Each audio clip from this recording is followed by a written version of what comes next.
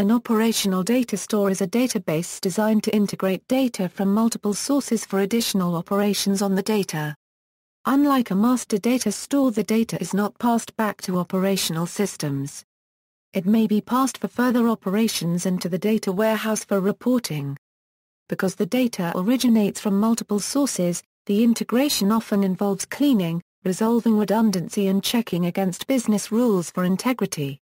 An ODS is usually designed to contain low-level or atomic data with limited history that is captured real-time, or near real-time as opposed to the much greater volumes of data stored in the data warehouse generally on a less frequent basis. General use The general purpose of an ODS is to integrate data from disparate source systems in a single structure, using data integration technologies like data virtualization, data federation, or extract, transform, and load. This will allow operational access to the data for operational reporting, master data or reference data management.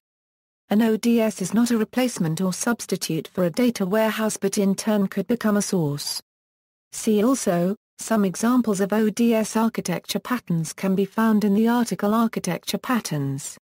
Publications, Inmon, William. Building the Operational Data Store. New York, John Wiley & Sons. ISBN A0-471-32888 EXA, External links, ODS Architecture Patterns, Bill Inmon Information Management article on ODS, Bill Inmon Information Management article on the five classes of ODS, Claudia Imhoff Information Management article on ODS, see also, Enterprise Architecture.